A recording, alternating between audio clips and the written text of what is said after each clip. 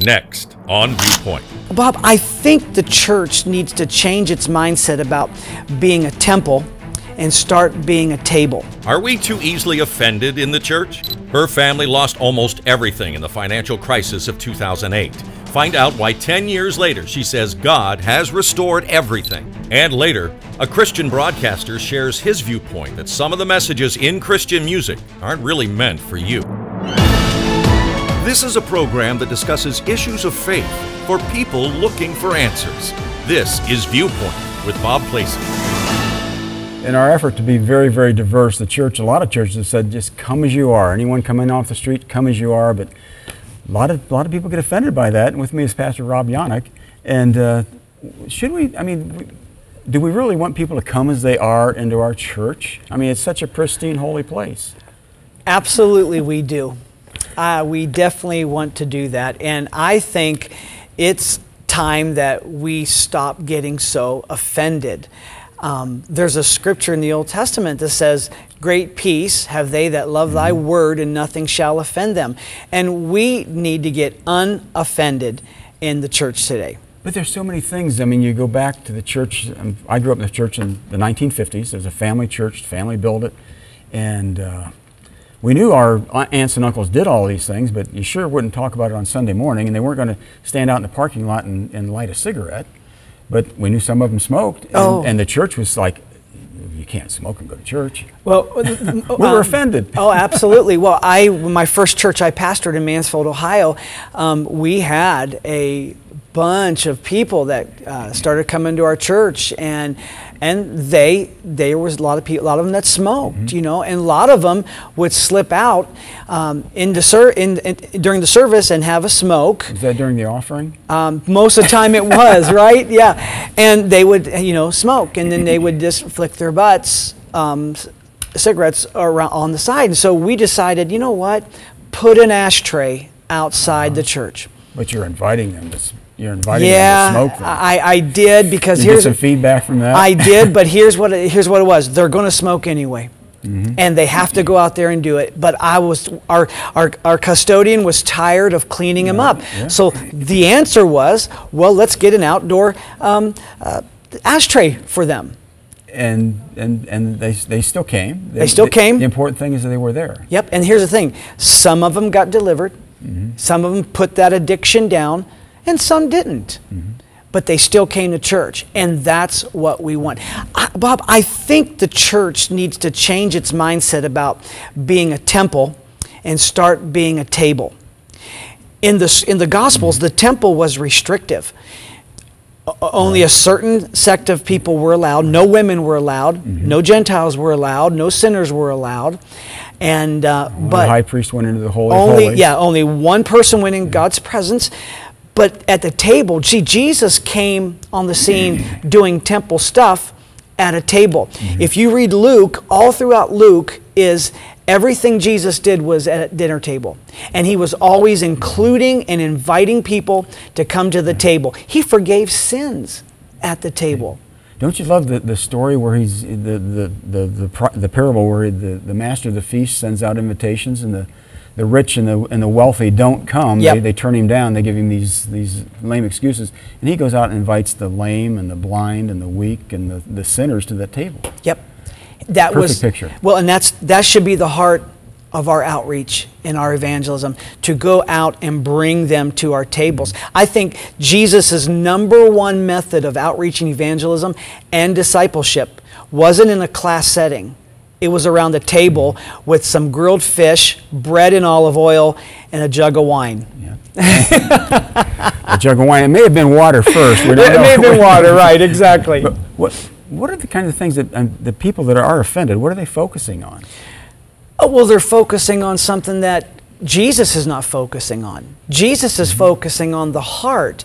W- You know, we look at people's actions, and that could be good or, bad, you know, but I think we should dig a little bit deeper and look at people's hearts. You know, people struggle with addictions, Bob, not because they want to struggle with these addictions, but because that's what an addiction is. They're struggling with it. And, and I think when they come to the church, no, we're not empowering them. But you know, with love, mercy, and grace, they're going to find uh, forgiveness, they're going to find healing, and they're going to find deliverance from these things. And there's people who accuse you of, of just sloppy grace, that everything's okay, come on in. And, Yep. And what do you say to that? Yeah, Jesus was that way too. So, uh, you know, You're good company. I mean, come on, he told Zacchaeus, you know, I'm going to go to your house for dinner. Well, Zacchaeus was a mafia hitman. Yeah. I mean, he broke your legs if you, You didn't, didn't pay your taxes. Pay your taxes, you know? So he was looked at. That's why he was looked at as a glutton, a wine bibber, um, because he hung out with the people that religion did not approve. And why do we do that? And I mean, religious people. I, I don't want to generalize anybody, but Pharisees were that way. Mm-hmm. What what does it do for us as a Pharisee, a Pharisaical heart? I mean, if we're looking at people that way, what does it do for us? Why do we want to put them down or say they, they really shouldn't be in church with us? Why should they? I don't want them sitting next to me. Maybe they Yeah. sit in the back. It gets the attention off of me and puts it on them. Because the truth of it is, every individual's dealing with some kind of stuff, some kind of mm-hmm. junk, some kind of addiction, you know, and they're barking about this person. So mm-hmm. the eyes and the attention will get off their issue and onto their issue. So how do we, as I mean, if, if I'm pharisaical, if I'm judging people, I'm sitting there, and I'm offended by who's sitting next to me by the way they, you know, talk, smell, the color of their skin, the, the way they're dressed. How do I get non-offended? I mean, wh- where do I start uh, to get that off of me? I, I think it starts with your faith. I think it starts with you and I trusting in God and realizing that God's going to deal with people and He's going to help them and He's going to um, heal them. And it's our responsibility not to be offended what, what somebody does. It's our job. How about this? How about if we learn to pray for each other? I was going to say, prayer meetings used to be real gossip sessions in some Right. cases, and, Yeah. and that's that's part of this whole problem. Is Yeah. that let's pray for so and so because he has this issue, and we're going to pray for him. He's not here, but we're going to pray for him today, and it becomes a, a, a gossip session. Well, I said one time, gossipers are backslidden intercessors. I think if we're Yeah. offended by something, we need to view, look at our heart, our own heart, Mm-hmm. because obviously there's something within me that's not mature, that's not right to be so offended at what somebody does. Okay, there, there's someone who comes into the service that really is a distraction from what you want to do in that service. I don't know whether they ride their Harley up the, up the aisle or whether they come in in, in hot pants or cut off t-shirt or whatever, is, their midriff showing. Yeah. Whatever, the modesty's gone. It, it really is a distraction of the service. How do you handle that as a pastor? Um, I've always handled it with mercy and with grace. Honestly, I don't do anything if it's their first time. If it's their if they're a guest, you know, the last thing I want to do is say something to them that's going to cause them to not come back. Um, and I'm not being liberal with that or extreme gracious with that, but I am being kind. And really, it's just all of us being examples. Now, there are those people who can't get past it. There are those people that uh, they, they've been in church their whole life, and this is how you dress on Sunday, and this is how you talk on Sunday, and they're going to get offended when somebody comes as they are. Yeah. They're, they're, they're just, that's going to happen to them. Uh, is it okay if they go to another table? You don't want that, but if they absolutely can't deal with the direction of that local church, it's better for them to move on and find another church instead of causing discord and trouble. Yes. But we're called to be holy, and we have this vision of holiness. Has that changed over the years with the culture we live in now? Um, I think so, but I think we missed the definition of it. I mean, there's only one that's holy, and that's God. And, you know, if His holiness doesn't dwell in us, it's really hard. We're human beings, not human doings. And holiness, and I was raised in classical Pentecostalism. You know, we didn't believe in fresh air. you, you know, uh, women couldn't cut their hair, wear makeup. They weren't allowed to wear pants. You weren't allowed to go to the movies because, you know, if Jesus would come back, you're going to hell. I mean, strict Very strict. rules, okay? And we thought holiness was defined as not doing this, not going there, not smoking this, not drinking that. Wearing our hair a certain way. Wearing our hair a certain Right. way, not wearing shorts, as you know, just you know, and you sure didn't wear a beard and mustache because you know that, that was the hippie drug generation. and I remember hearing a message uh, at a youth camp that if your hair was past your ears, um, you could be lost. Crazy. If you die with your hair long, you're, you're going to E- hell. Exactly. So I remember my younger brother was a, a, a rock star, Christian rock star, and he grew his hair real long. And he came to, to a church one time, and uh, uh, the assistant pastor grabbed him by the hair and put him on the ground and told him, "Don't come back to this church until you get that hair cut." Wow. I mean, think about the foolishness that religion has done to people. Now, mind you, it didn't. He, he was blown. He was devastated, but he was, you know, 17, 18 years old. He could have walked away from church for the rest of his life, but he didn't. Yeah. He forgave and he moved forward, and he's in ministry today. So, And so we're really looking at, I mean, holiness is, is not our definition. I mean, we Nope. can't write it up in a book of rules for the church. No. But I think, Bob, we need to give people time. We are so impatient. We want people to be transformed immediately. Immediately. You know, and if we can just get them to the altar or get them through that class. No, the truth of it is, even once a person comes to Christ, they're still going to struggle. process. It's a process. And I think we need to be patient. In prayer one time, I just felt like God saying, Hey, I want you to know I'm still patient with you. Because sometimes I go, man, God, I know I'm 49. I've been doing this a long time. You think I'd, you know, nope. Aren't- and He's aren't- still gracious with me. Aren't we blessed that he is patient? Absolutely. so if He is that way with you and me, we have to be that way with others. Coming up next, her family lost almost everything in the financial crisis of 2008. That is an amazing word to even use. Restoration is completely the season that we are in. That's coming up next on Viewpoint. We've all heard the stories of reckless finances leading to disaster, but what happens when you do everything right and you almost lose it all? Monica Guidry and her family faced that head on, and now they have a fresh perspective on restoration. Monica joins me today from her home in Columbus, Ohio. Hi, Monica.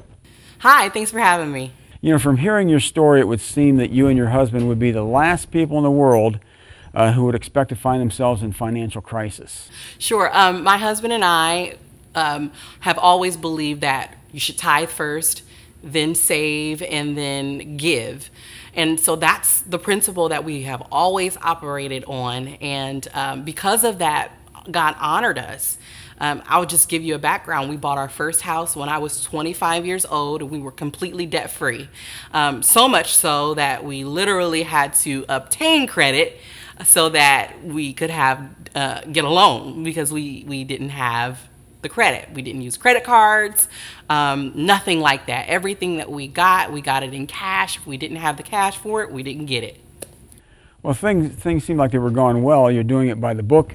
God seemed to lead your family into career change. What happened then? my husband, who was working as a tax analyst for the, the- our, our state, um, decided that he wanted to come home and pursue his passion of trading. He's extremely gifted with um, stock market and understanding mutual funds and investments and all of those things. And so we agreed that he would come home and start trading from home. Um, and then the market crashed.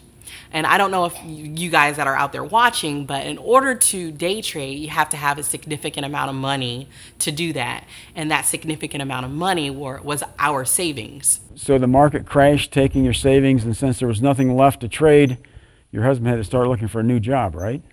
My husband has two degrees. He has a, a bachelor's degree and he has a master's degree. And um, even though he had those things, it was hard for him to get a job right away. We just knew that employment would come right away, but it didn't. Um, the employment market wasn't that hot, and we found ourselves um, getting in the rear in a lot of things. What was the lowest moment during this whole time for you? Yeah, it did get worse. I would say my lowest moment, and I will never forget this, was I had a jar, a, a small vase of change, and change was were pennies. It was pennies, and I remember taking that jar to Kroger up the road and dumping it in the change machine so that I could get money for something to eat for that night. And I remember getting something to eat and thinking to myself, I cannot believe I'm here at this store doing this. And then there was another moment when um, I remember there was we had a can of manwich, and it was just the sauce. And I remember taking that can of manwich and putting it in a rice cooker to cook it up um, because our water was shut off and it wasn't like I could wash dishes or anything like that. And I remember cooking it and eating just the the the the sauce. I didn't have the meat to go with it, and that was a very low moment. And who do we call? We, we would go over my parents' house or my friend's house, and we would go over there long enough um, so that we didn't have to stay in the house because it was cold a lot of times, and we didn't want our, our kids to be there. It was it was a very a very tough tough time. Well, you, you said you lost almost everything. It's been a few years, and you've said God has restored it. That is an amazing word to even use. Restoration is completely the season that we are in. That's where we are now. Um, we have since um, got back out of debt. I would say close to being debt free. Um, we definitely fought hard and long for that. I mean, nothing has ever been given to my husband and I, but I'm sitting in my home right now where um, we bought again and we built again. And this is only, I would say, what, four years after we lost our other house, which is almost unheard of. Most people don't have this opportunity like we have that we have now. And God miraculously did this. What what, what lessons have you, have you taken from this? The only thing that I can think of is a, a scripture um, that came to mind just now, and it's the things that I've obtained, I counted a loss that I might know him.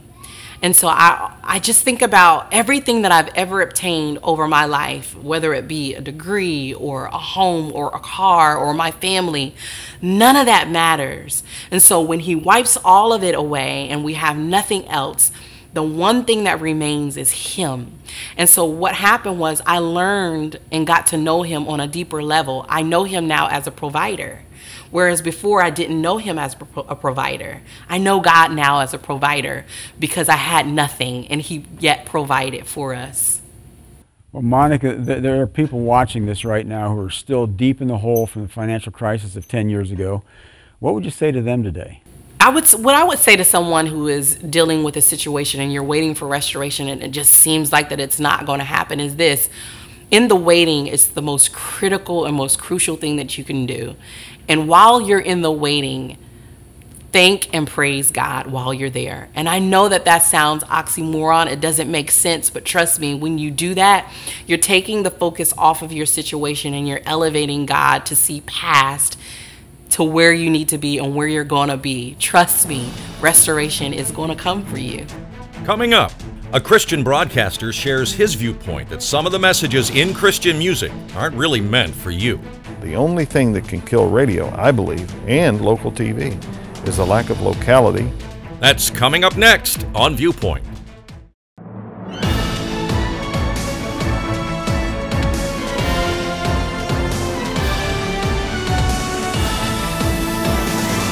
Thirty years ago from this very studio, I hosted a show called Straight Talk from Teens, and the most popular topic on that show was rock and roll. And was it good for us what we take into our mind? Is it going to affect how we live our life? And yeah. Terry Dismore's with me.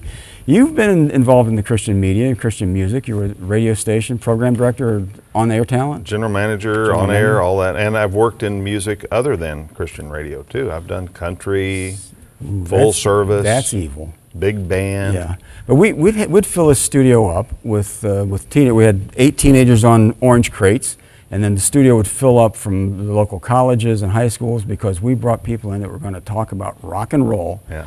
and the evils of it and why if you took in all this stuff, it's going to trash your life. And in some cases, that's absolutely true. Yeah. What we take into our mind is going to affect what comes out of the, the, the experience of our life. But you were involved in Christian media as well, Christian yeah. music. And, and if we guise something in the form of Christian, can we slip it into people's lives and sure there's, and, bad, and bad, theolo- bad, theology? bad, theology? And there is there's um, there's bad theology in secular music. Not all of it is. But when we think of Christian music, we think of entertainment, or is it worship? Is it redeeming? Is it what, what's been your experience? Well, I, it, here's some of my experience is that I've worked throughout uh, the changing era of Christian music. I started in 1983 at a Christian radio station in Louisville, Kentucky, mm-hmm. and we played Amy Grant, the Imperials. Sure. Uh, I mean, Steven Curtis Chapman was a new artist to mm-hmm. us at one point. You know, now he's nobody plays right. him anymore.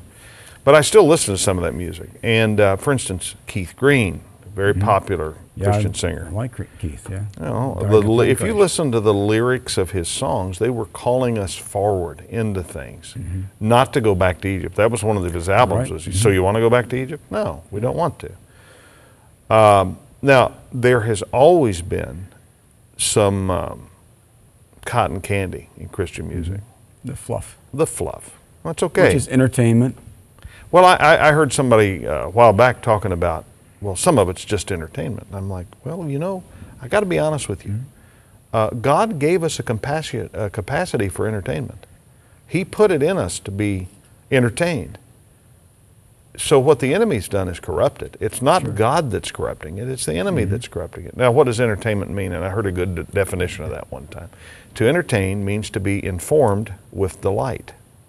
So sometimes we can be informed with delight by what's on uh, Fox News mm-hmm. or CNN, or sometimes we can be informed with delight uh, by what we get on Twitter. Usually not. not. Usually it fires us up. Well, the enemy has corrupted entertainment. Mm-hmm.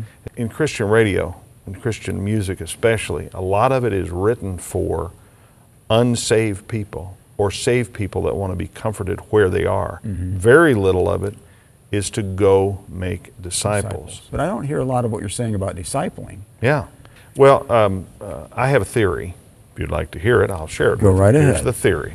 That's what we're here for. I heard um, a guy speak years ago. His name is Eric Rhoads. Now, Eric is a radio guru, not Christian radio. Mm-hmm. He's a radio guru, and it was at a Christian conference, and he a Christian radio conference, and we were talking at the time about satellite radio, which has not made the inroads that everybody thought mm-hmm. that it would. And now everybody's talking about streaming and how many inroads that's going to make. Well, you know what the truth is? It's been around for several years and it's not doing it like we think. People still prefer uh, listening to somebody they know. So he said that they'd done research on websites and they'd found out that websites have three main components. That if you meet these three main components, you will have a very popular website. So here are the three main components. Entertainment, yeah, right. Yeah. Entertainment, mm-hmm. personality, and a sense of community. Entertainment, community. personality, and a sense of community. A website with a sense of community. Well, think that's about Facebook. Yeah, that's, that's, your community. Mm-hmm. You built that community. It's entertaining because you read about people, and it has your personality. So mm-hmm. it carries all three of those. That's why that's popular.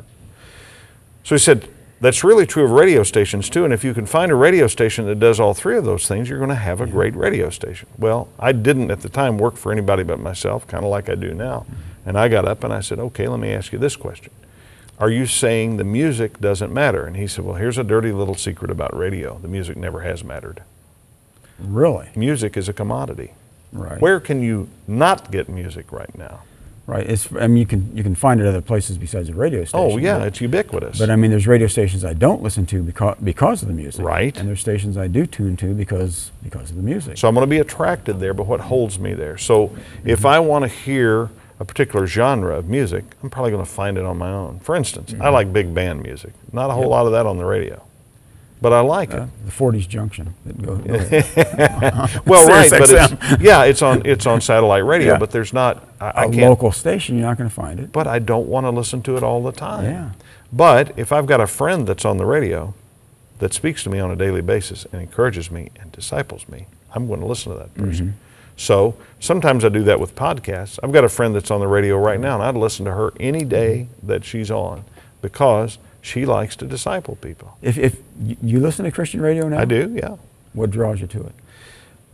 Uh, usually the people. The people. I'll know the people. So it's local. Uh, some of it is. Some of it's national, and I know who they are. But I'm drawn to the people. With all the media choices we got, I mean, we got Christian radio. You're talking about streaming. What about what about local radio? Is it healthy? Is it where's it where's it going today? Here's the important thing to remember.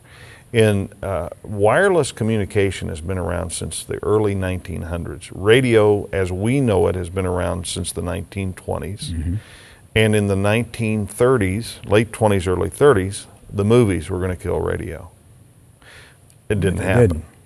In the 1950s, TV was going to kill the radio, and it didn't. In the 1990s, satellite was going to kill the radio, and it didn't. In 2018, streaming is going to kill radio, and it didn't. The only thing that can kill radio, I believe, and local TV, is the lack of locality. Now, people don't really care where they get it from. They really don't. But if they know that you care about them, they really will. If they know you're invested in that community. Yeah, I think so. Now we have uh, I have a friend that runs K-LOVE Air1, huge network, 600 and some Yep. stations. They try to do local stuff. They're not able to do it. Difficult. Um, got another friend that runs a station in Bellefontaine, and he's in the community, and his little station is pretty successful.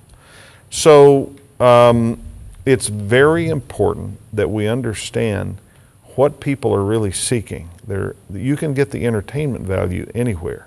You can't get the personality, entertainment, and sense of community that you can when you're actually in the community.